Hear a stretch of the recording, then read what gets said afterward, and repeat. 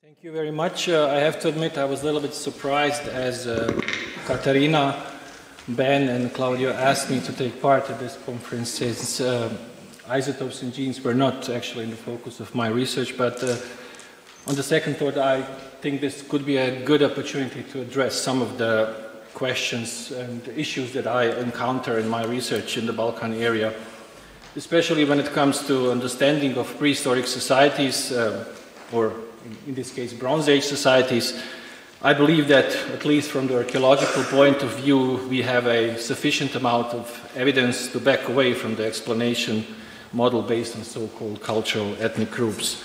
It's actually the archaeological record itself that provides a rather heterogeneous and far more complex picture of uh, Bronze Age societies. So, speaking of diversity, I think it's also important to underline that the region that I will be talking about involves actually several very different landscapes, uh, starting from the plain lands and lowlands in the north, in the border to the Carpathian Basin. And um, so this is the slide that uh, should uh, illustrate the diversity of the landscapes in the area that I'm talking about, the plain lands and lowlands around big, uh, along big rivers in the north, mountainous area of western uh, Balkan, and of course Adriatic coast, the narrow coastal line of Adriatic coast.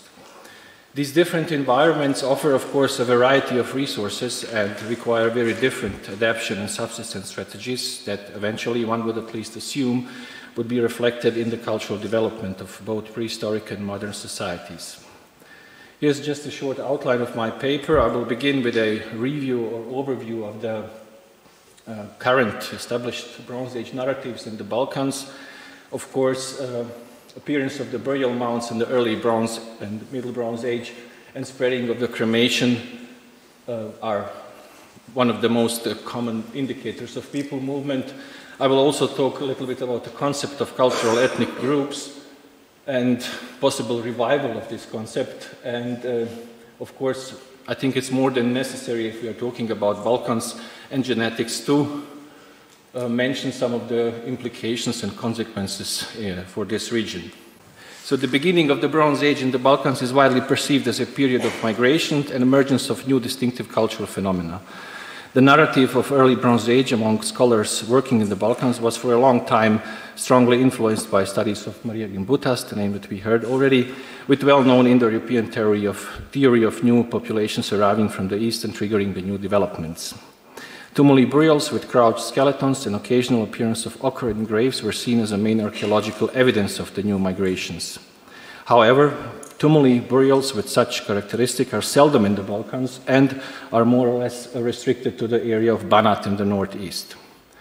Regarding the other early Bronze Age groups in the Balkans, whose distribution, by the way, more or less correspond with these landscapes that I just mentioned, uh, we have, uh, of course, tumuli all over the uh, place, but from the very beginning they expose uh, great diversity regarding size, material, uh, burial rite, and so on. Even in the earliest phase of tumuli, it's obvious that domestic elements are prevailing, especially among pottery finds. Here's just an example of two uh, tumuli in the northern Serbia, in the sites of Batajnica and Vojka, with the pottery finds that can clearly be assigned to Vučedol local Copper Age complex.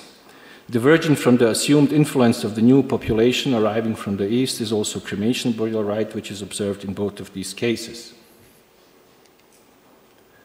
The great variety of burial forms can also be noted not only between depicted early Bronze Age groups, but also within one group itself, indicating perhaps their heterogeneous composition. Here are just few examples that should be sufficient to illustrate the diversity and complexity of the early Bronze Age burial rites. Even in this relatively small region, such as Western and Central Balkan, we have a typical cremation in urns, in flat graves in the area of Vinkovci culture, cremation graves with a, or without urn and inhumation graves under earth tumuli in the area of Belotic, Bela Crkva and Glasinac group, or inhumations and cremation graves under stone tumuli in the Adriatic hinterland with a typical repertoire of Cetina culture. As for Cetina culture, it is also to add that similar burials are also known from the very early phase that is also in the Copper Age.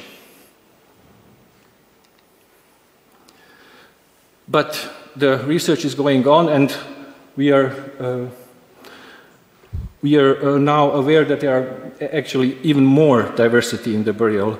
For example, the recent excavation in Ranutovac in southern Serbia revealed to this point in Balkans unknown type of early Bronze Age cemetery with circular stone constructions and cremation graves without urn. The ceramic finds from the cemetery clearly point to the connection with northern Greece or Armenohori culture. So regarding the early Bronze Age, it is to, to conclude that archaeological record, even at this insufficient stage of investigation, provides a complex, multifarious picture that is hardly to explain with unilateral movements or migrations. And even in the case where new elements are obvious, such as appearance of tumuli burials, they are usually accompanied by distinct local and domestic pottery, pointing to rather mutual than one-sided relationships. Important is also the fact that the uh, concept of these cultural cultural groups that is established for the early Bronze Age will be prevailing also for the later periods. Contrary to early Bronze Age, the period of Middle Bronze Age is, among almost all scholars, consistently described as a period of steady progress based on so-called ethnical and cultural components formed in the early Bronze Age. Despite significant changes both in material culture and burial rites, migrations were actually never considered as a facilitator of the changes in the Middle Bronze Age. One of the reasons could be the fact that there is no historical or linguistic background that would favor or support migration theories during this time. However, if we just look at the archaeological record, there's a number of fundamental changes and new appearances that also could be linked with certain migrations or movement of the people and the groups. One of these significant new novelties uh, in the Middle Bronze Age is the establishment of cremation as a main burial rite in the groups with encrusted pottery along Danube by the mid of the second millennia BC. For some of these local groups with encrusted pottery, like uh, Žuto Brdo Gârla Mare, it is assumed that they could originate out of smaller scale migrations along Danube or within the so called encrusted pottery circle. But most of the Middle Bronze, Middle Bronze Age development was usually described as a local progress of domestic populations, although, as I said, the finds point, uh, to the change in almost every aspect of archaeological record. We have uh, now exclusive cremation burials, new ornamental canon, figural representations, and so on. A completely new picture in, in, comparison to previous periods is also documented in the area of neighboring Paraćin group in the region south of Danube. Typical for Middle Bronze Age and beginning of the Late Bronze Age of this region are cremation urn graves and circular stone constructions. Unlike in previous case, the pottery is mostly undecorated and other than vessels, other vessels than urns are seldom. Uh, despite the occurrence of this new cultural phenomena in a region with no comparable traditions in the early Bronze Age, the previous studies did not consider any kind of migration as decisive for the genesis of Paraćin group. Instead of that, the emergence of the group and development was ascribed to so-called local ethnical substrate that goes back to the early Bronze Age. Comparable assumptions about uh, local development, cultural and ethnical continuity were also made for tumuli burials in the mountainous zone of Western Balkans in the Middle Bronze Age. Interesting in context of possible movements of people and groups are two regions, since they expose completely new elements during this time frame. First region is Western Serbia, uh, with a clear tradition of tumuli graves in the early Bronze Age. Major difference in the Middle Bronze Age is the occurrence of urn graves under tumuli with pottery forms well corresponding with Danube area or late Vatin culture. Yet both pottery forms and cremations were explained as adoption of new cultural elements from the north, while the erection of tumuli as a strong local component was regarded as decisive for cultural ethnical assignment of Middle Bronze Age communities in Western Serbia.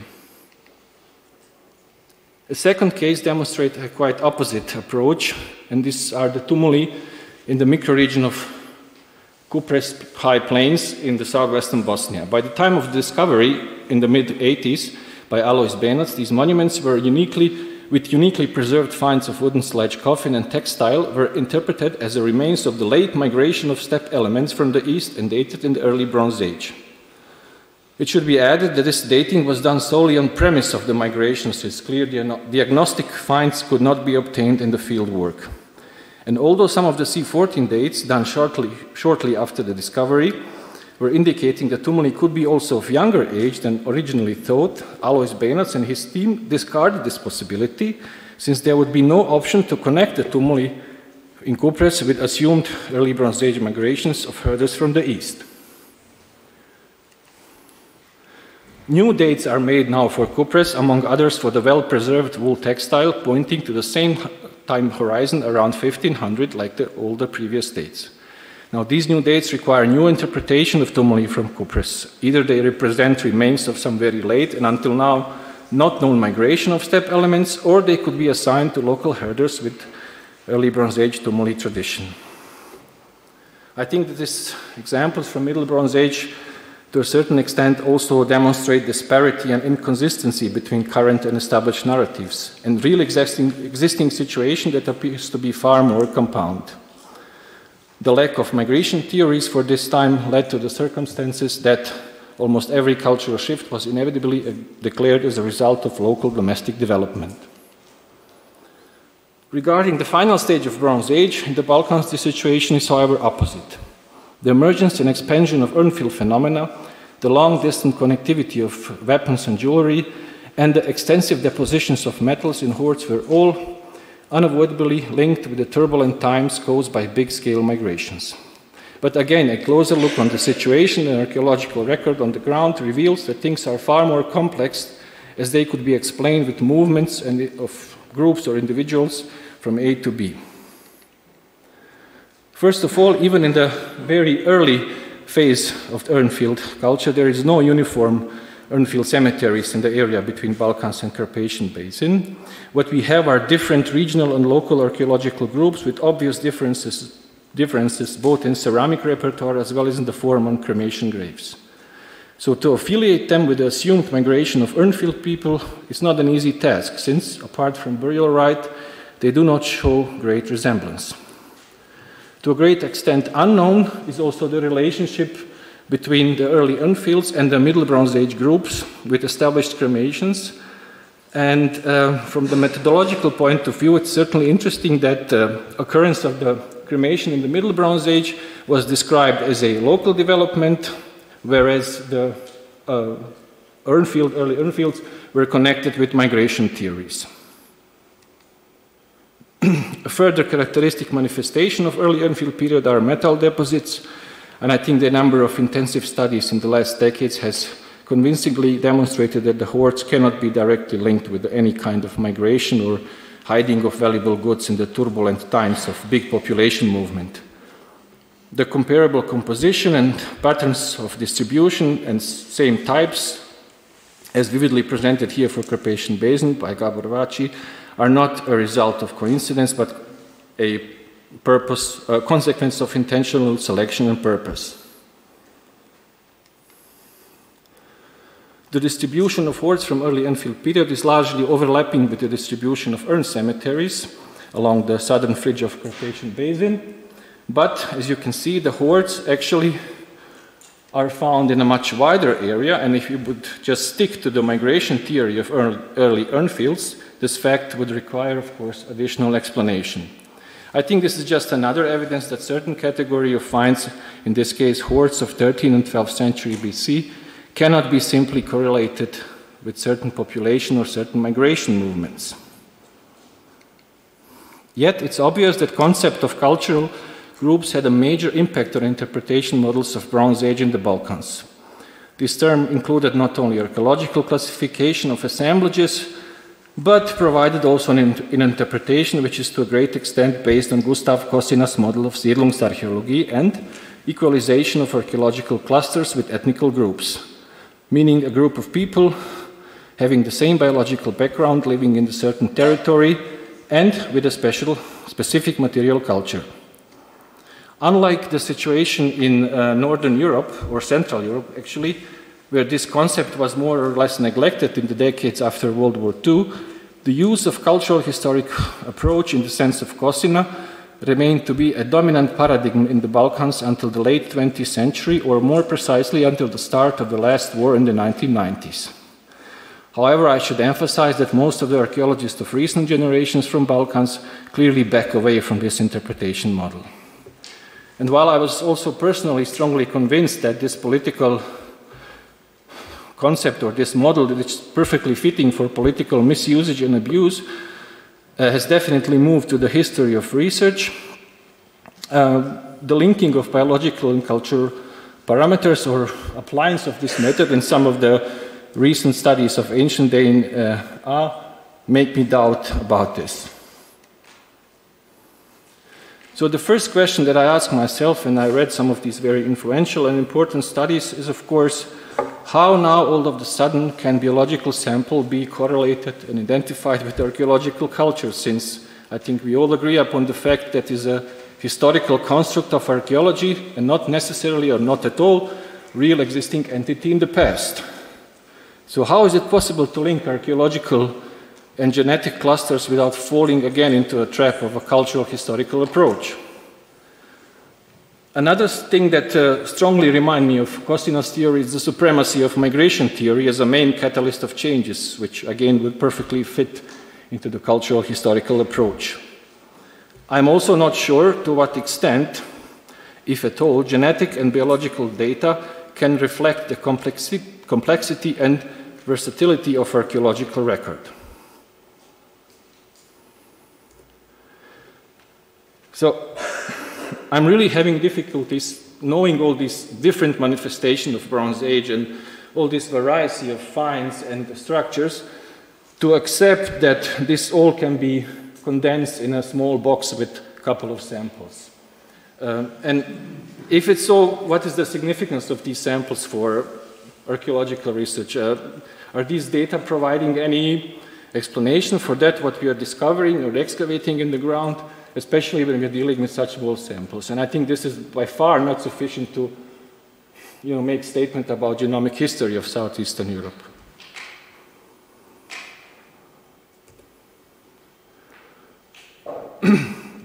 These objections, objections to interpretation of genetic study, especially regarding third millennia BC, have been raised by several authors, Martin Furholt, Mark Vander Linden, Volker Heyd, and Striking is the fact that all these papers refer to a potential risk of oversimplified explanation of genetic data, but they all also bring up the problem of revival of Kossinna's cultural historical approach that was, at least for a Central European archaeology, believed to be left behind. The problematic nature of connection between archaeological terms and genetic study has been recently very clear addressed in the paper published by archaeologists and genetic experts, and I think some parts of this uh, paper are valuable, of these valuable contributions need to be highlighted, especially about the clear methodological distinction of archaeological and gen genetic clusters and limits and possibilities of compar comparison. Another aspect that is shortly mentioned in this paper is potential of data use or misuse by third parties. And this leads me to the last and less pleasant part of my paper that will shortly address the consequences of genetic studies in the Balkan area. As we all know, the awareness of the uh, group identification is in this part of Europe to the present day strongly connected with the dominant, dominant collective identity of ethnic group with alleged cultural and biological continuity. Unfortunately, some of the recent genetic studies, or rather misuse of their results, largely contributed to the perception that easily can be used for the political purposes. In this context, genetic results, reserve, uh, results served as a legitimization of certain political agendas. As you can see from these randomly collected titles, the same results can easily be manipulated, adopted, and used as an instrument of propaganda. But it's not just yellow press and media that are producing such stories. It is also science that has been instrumentalized. In this context, I would like to uh, mention uh, an article that um, received great attention in the region with the uh, Primorac, Dragan Primorac, genetic specialist and Croatian Ministry of Science, Minister of Science, as a leading author.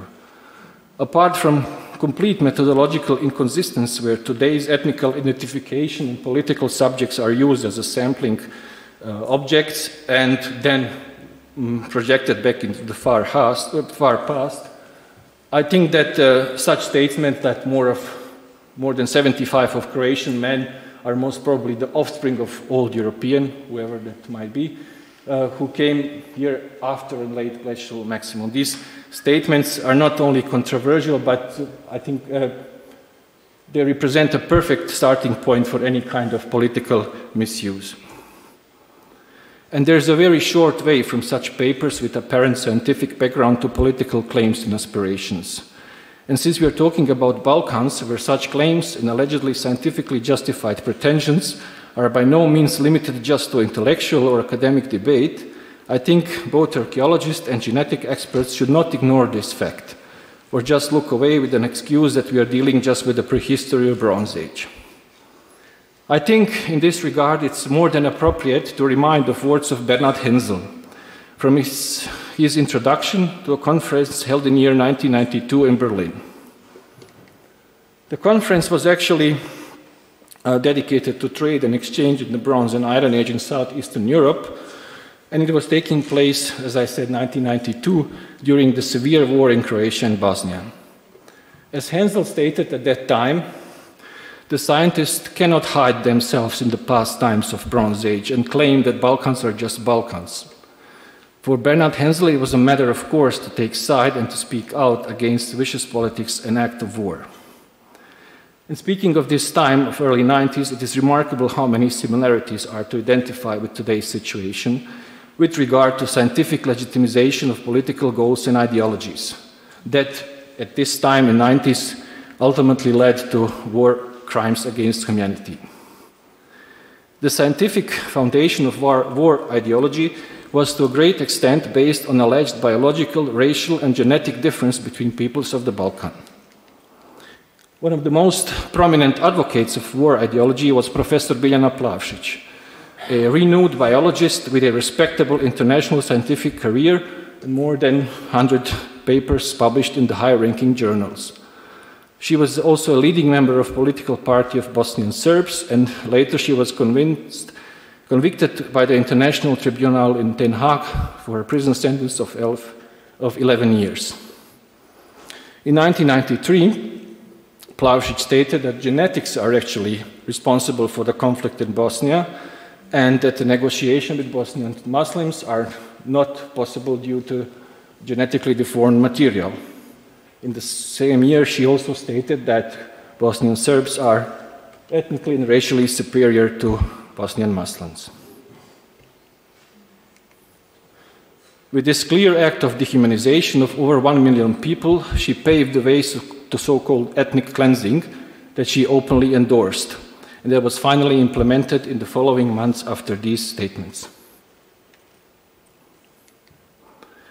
I think that these facts should be taken in consideration when we are talking about Balkans and genetic studies. I firmly believe that future studies about past and genetics of Balkan area will be aware of the fact that obtained results can easily be misused and that the consequences can affect not just academical discourse or change of paradigm, but the life of real existing people too. Thank you.